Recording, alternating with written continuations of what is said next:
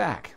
Think back when you were a child or any time prior to adulthood. You know, it's a vulnerable time, isn't it? And there are stresses. Boy, boy, I, will tell you what, school, high school, middle school, not easy, huh? Well, did you have an adult influence, or maybe somebody just older, maybe an older sibling, or an aunt or an uncle, maybe a parent, somebody who, um, somebody who was gentle and kind, who seemed to be in your corner, and whether that person was a formal teacher or just a mentor, just a presence. Did you ever share that joy that that person felt? It was pretty clearly that person felt when working with you. Well, if you're going through a tough time and you have somebody there in a leadership leadership position, can make an enormous difference. Well, I'll tell you something. Whether it's our cats or our dogs, we're going through a stressful time right now with this epidemic, sheltering in place and well, social isolation, a lot of anxiety, a collective anxiety. My goodness, we're feeding off each other, aren't we? Um, well, you know what?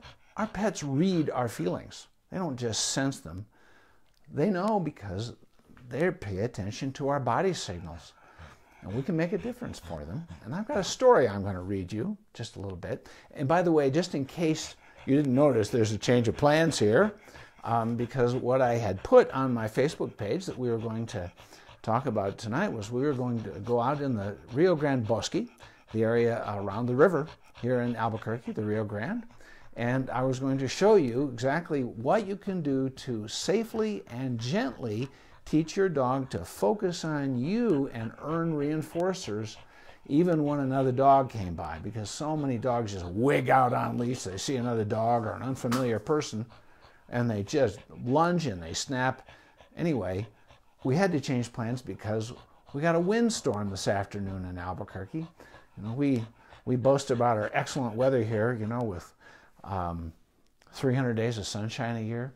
But in the springtime, it can get a little bit windy. So we're going to postpone this thing about the dogs a wig out on leash until next week try it again. I think we'll get lucky because we almost always are here.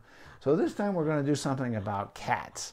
Um, by the way, in case we haven't met, I'm veterinarian Dr. Jeff Nichol, and this is our family border collie, Miss America here, and we call her that because she's cute and perky.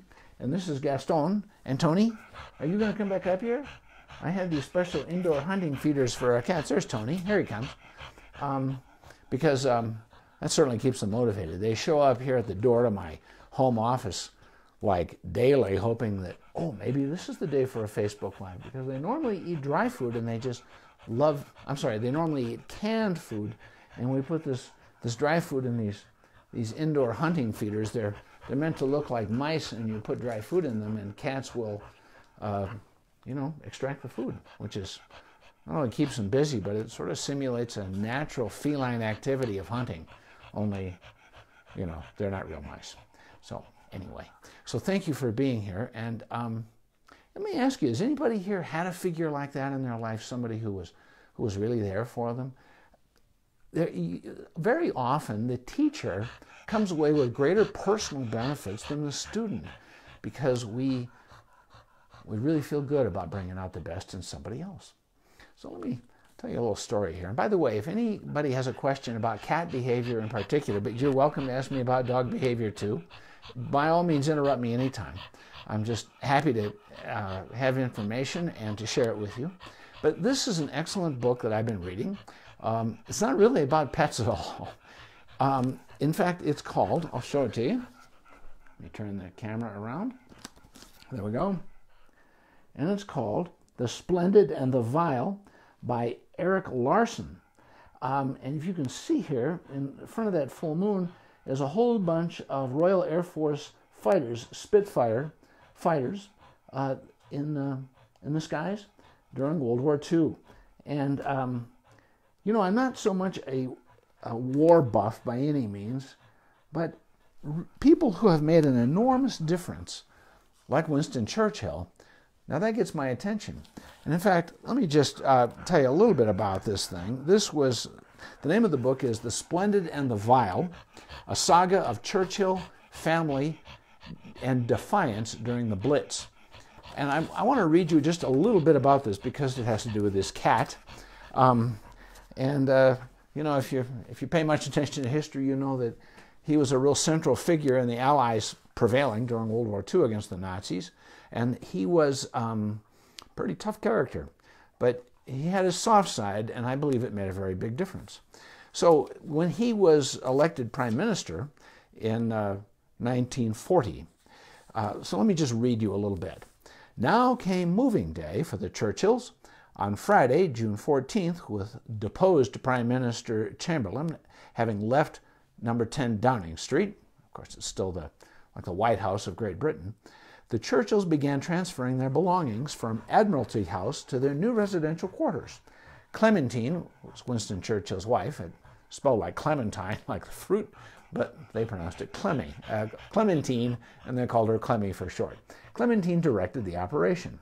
Moving in any area is a stressful affair, but the strain certainly was amplified by the fact that France was about to fall and invasion of Great Britain loomed. Clementine, however, seemed to weather it well, as her friend Violet Bonham Carter found when she stopped at Admiralty House for tea. You know, I spent a summer in, in um, England when I was a college student, when I was finishing my undergraduate work just before starting veterinary school. And they're just really they're wonderful people.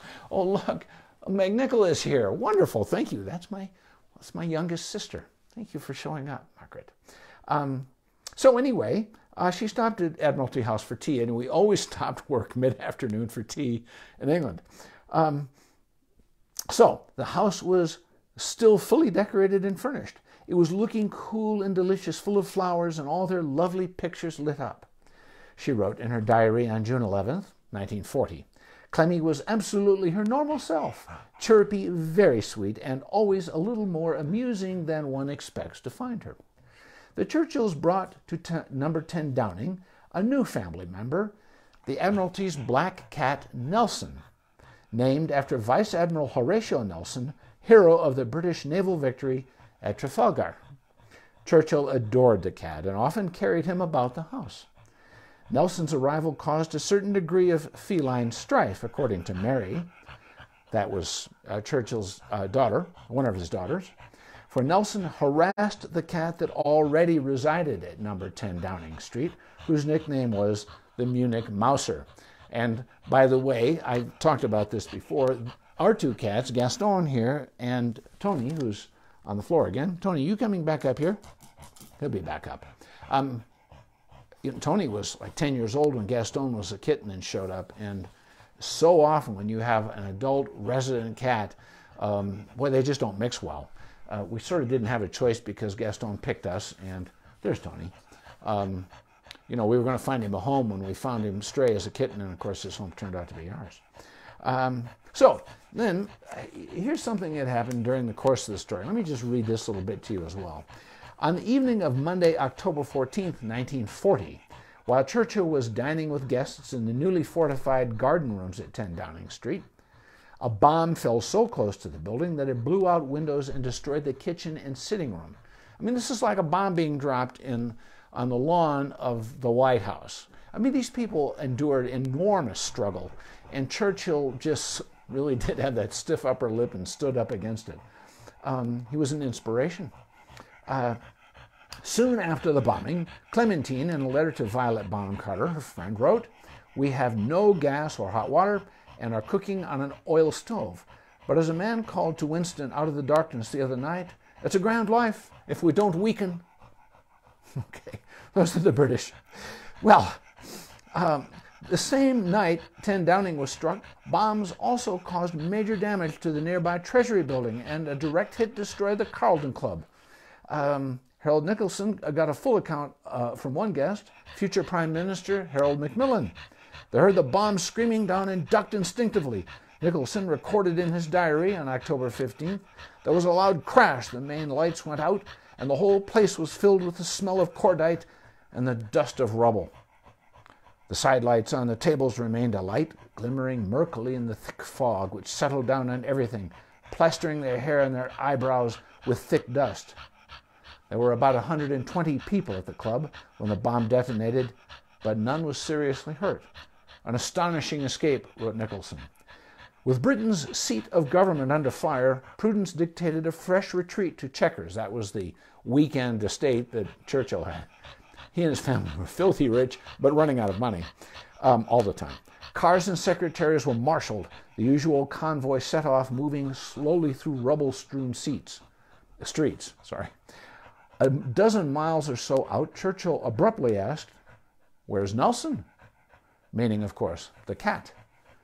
Nelson was not in the car, nor did he appear to be in any of the other vehicles. Churchill ordered his driver to turn around and go back to number 10 Downing Street. There, a secretary cornered the terrified cat and trapped him under a wastebasket. With Nelson safely aboard, the cars resumed their journey. So, you know, the United States had not entered the war yet. It was going to be, you know, about another year before we did. And Britain was just struggling. And Churchill often was beseeching FDR to try to get us to help them out. Uh, there was a lot of struggle in this country about being isolationist and all that. But um, despite his struggles and the enormous burden on his shoulders and the capital of England getting bombed and, and other major cities as well, um, that cat meant a great deal to him. Do you think that cat brought him some comfort? yeah, I guess so. And you know, as I'm reading this book right now, I keep I questioning myself: Is this a good thing for me to be reading while, uh, you know, the whole world is under siege with the coronavirus epidemic? I mean, we're not getting bombed, but there are people who aren't going to make it. I mean, and you know, it's sort of giving me some strength. I've got a couple of questions here. Nelson was my cat. Yes, Margaret, I did think about your cat, Nelson. Um, I don't know if you named him after Horatio Nelson, the, the uh, British naval war hero, but I certainly thought of that when I when I read about uh, Churchill's cat. And see, I did not know that he was a pet person. Alexandra, thank you so much for turning in. Devil in the White City is about Chicago during 1893 Columbia Exposition and a breeding ground uh, for the first serial killer. Oh my goodness, gee, that's uh, that's pretty grim. gee. So anyway, just as that as a as a prelude here, I wanted to talk to you folks about, well, anyway, has anybody read this book? And number, number two, this author, Erik Larson, he's written Devil in the White City and Dead Wake, which are, according to the description on the back of the book, are uh, somewhat fictionalized historical accounts. He is a, as the British would say, a frightfully good writer. I'm just enjoying this book to no end. I'm a little more than halfway through it. It's about 500 pages, but it is so well written. It doesn't seem like a long book. It seems like a a really well done book. And there's a great deal of history and humanity in this thing and people hanging together. And it's really inspirational for me with this epidemic. And as much as we're sheltering in place, um, the two Nichol family cats have made a big difference. Um, and so one of the things I wanted to talk about just briefly here was, uh, you know, Nelson, Winston Churchill's cat, when they left number 10 Downing Street to get the heck out of there, uh, because they you know, the leadership of Great Britain was under siege. And he turned around to get his cat, and, and the secretary found the cat, terrified, and trapped it under a wastebasket. My guess is that they probably had to corner that cat uh, that was already terrified. Um, cats tend to hide out under den like structures when they're frightened. And is that the best way to do this? Because people encounter that problem often where they've got a scared to death cat and what are they supposed to do to catch the cat?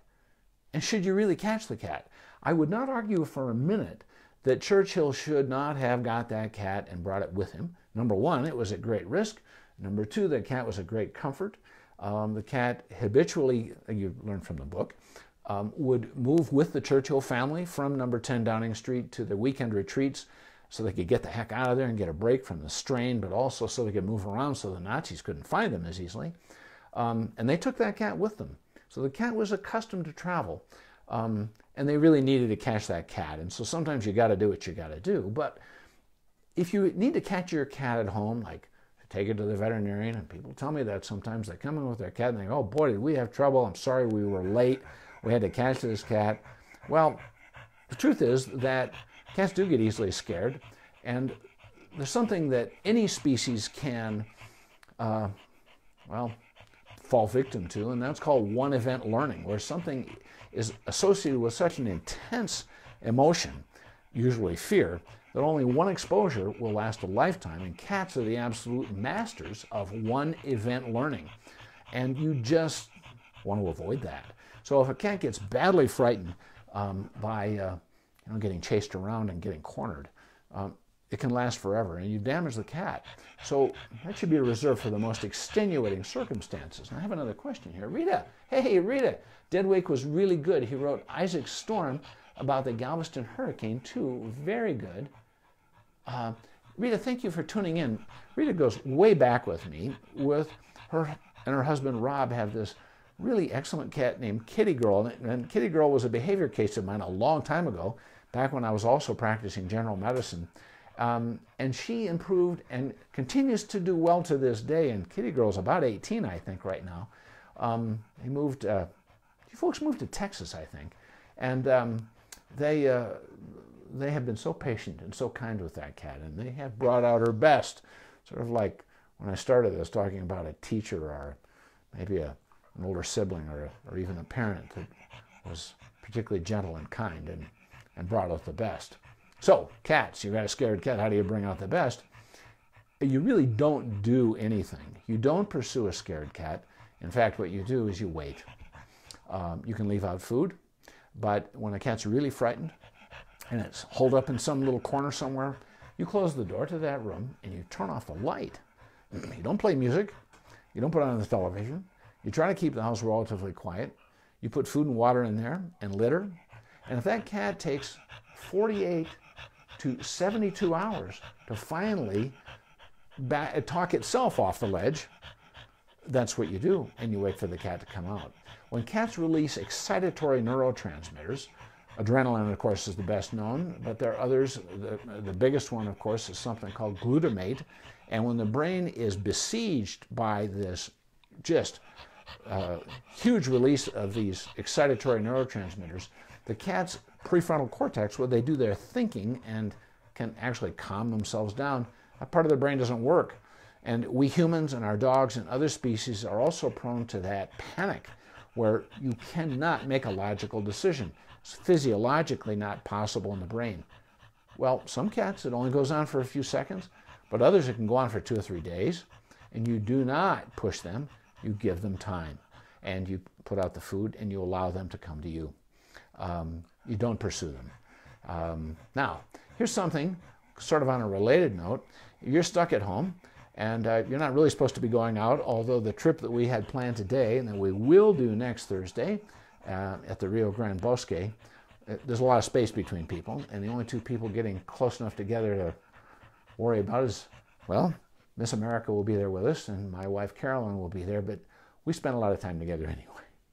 Um, but there will be people walking along on that uh, on the trail right near the river, and there's a wonderful ditch there, an irrigation ditch called the Clear Ditch. Um, it's just a gorgeous area, and so we'll be there next week. But uh, we won't be getting in close contact with anybody. But let's talk about what we can do at home with our cat. And what I'd like to do is teach you how to teach your cat to come when called. Really?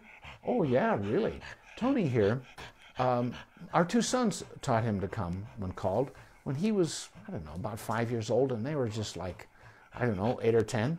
And at the either end of our hallway in our house, I set each boy up with a little treat bag and tasty cat treats. And so, with one boy holding the cat, our other son was at the end of the hallway and tossed a little treat in front of our cat, Tony, and called his name.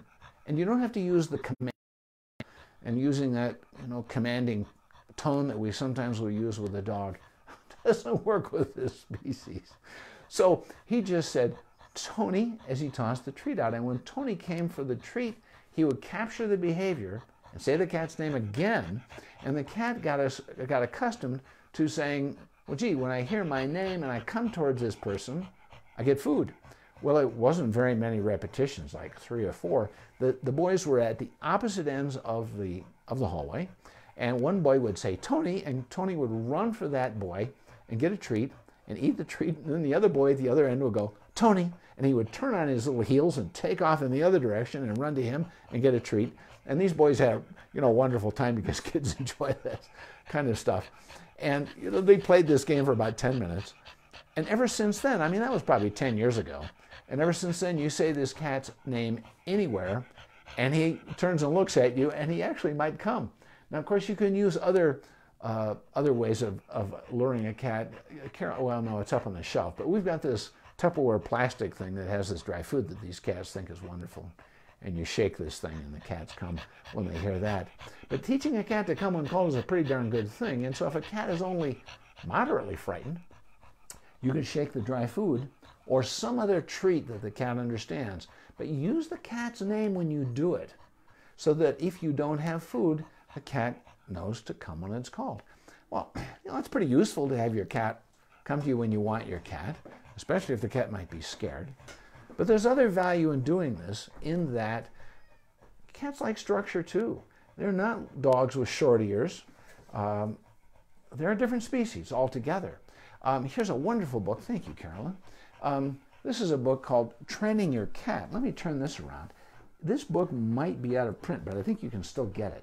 And this is by, oh, wait a minute. Oh, I didn't really turn the camera around. I just thought I did. There you go. It's called Training Your Cat. And it's by Dr. Kersti Seksel, S E K S E L. Dr. Kersti Seksel, I know this lady. She is a, a, member of the American College of Veterinary Behaviorists, where I got my, um, can I hand that back to you, Carolyn? Um, where I did my training for my behavior residency. And Dr. Seksel, this is not a book that was written, oh, I've turned off the extra light. There we go. This book was not written um, for veterinarians or veterinary behaviorists. It's written for cat parents. And it's got a whole lot of different ways in there of teaching your cat different commands. It's terribly well done.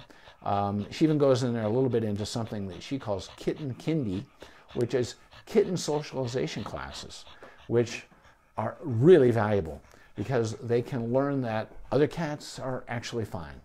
Um, if you've ever had struggles with cat fights at your house, oh brother, I mean, I, I treat that problem often. And uh, yes, Charlotte is, um, oh, Charlotte comes when called. Charlotte is uh, my sister-in-law Ann's cat. And uh, so, you know, they come when they called, and if they're nervous or frightened, you can derail them. And in fact, we talked about that a little bit last week when we went to the Bikeki Open Space with Miss America here, that when you've got a dog who's nervous, and you can give that dog, or in this case a cat, a command, response, reward sequence, very simple. Tell the cat or dog what you want. They perform because you've trained them in a very much zero stress situation. And then the cat or dog is nervous about something and they know that there is a reliable result when they hear their name. And they come and they're called and they get that interaction and they get the food reward and they get some gentle petting. And remember, with cats, and both of my cats are on the floor now, um, I'll pretend that Miss America here is a, is a cat, a 37 pound cat with fuzzy ears. Um, um, cats like rubbing and petting on their head and their ears and their neck. That's kind of it with cats. But they earn that gentle feline specific grooming structure reliably, and they know that if they're nervous, if there's something stressful going on, and then they come when they're called, they, uh, they can earn that touch. Um, and you repeat that often in a zero stress situation so that when you need it to um, redirect the cat away from its fear, away from its anxiety, you got something to make that cat feel better. And you too will feel better. And when we've got these stressful problems right now, like this epidemic, we are uh, needing all the help we can all get. And so you're putting yourself in a leadership position. Think of yourself as Winston Churchill. Um, and I'll bet that uh, cat Nelson of his was really uh, pretty darn uh, happy to go with him and get the heck out of 10 Downing Street. Well, if anybody's ever got any other questions, you're certainly welcome to uh, run them past me here. Um, I know some of these cats who are showing up on my iPhone screen here. And any other questions, be sure to send them to me on my Facebook page. And by the way, this Facebook Live and every week's Facebook Live, and more often there in dogs, um, I try to mix cats in there every chance I can. Um, but those are always available to subscribers of my website, which is drjeffnichol.com, D R J E F F N I C H O L.com. And uh, if you subscribe, uh, which is, of course, no charge, thank you very much for some hearts and wows there. Um, you can subscribe at no charge at all, and every week you will get the previous, usually Thursday, sometimes Wednesday, Facebook Live, and my weekly blog, my media blog, which is my column in the Albuquerque Journal. Um, and when you do subscribe at no charge, you will also get my free at home pet first aid and CPR guide. And those are worth printing out and sticking to the fridge just in case. Um, and you're welcome to share this video with any of your kitty loving friends. Um, and uh, thank you for sharing this with me. Thank you for being here with me. Um, this sheltering in place thing isn't very much fun for me. My behavior consultations right now, instead of going into the uh, veterinary specialty hospital, where I typically see them in person, we're doing these things by phone right now and people are sending me videos. In fact, if you call my office and you need a behavior consultation, uh, we will give you a Dropbox link by email, and um, then you can upload videos of the cat or dog's behavior, and then we can do a consultation. And uh, just about as good as being in person, and a whole lot better than not doing it at all. People think sometimes, oh, there's no behavioral emergencies. Well, there certainly are. If you have a pet who is really freaked out, aggressive, uh, compulsive, involved in spinning or other repetitive destructive behaviors, uh, damage to the house, self mutilation, um, fighting with other pets, biting people, um, and you're getting to be at wits' end. And, and unfortunately, that's when a lot of people contact me. Um, last resort, when in fact I wish they'd come early in the game. Um, and they may be ready to say, Gosh, I've tried everything and I'm ready to give up. For goodness sake, don't do that.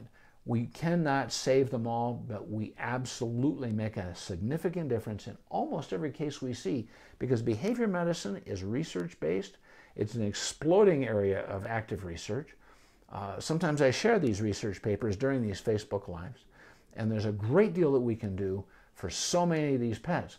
So if you or someone you know has a pet that's really causing a problem and says, gee, I'm going to have to wait until we're given the all clear in this epidemic to get anything done. I don't know if we can hold out that long. You absolutely can contact me. You can contact me through Facebook.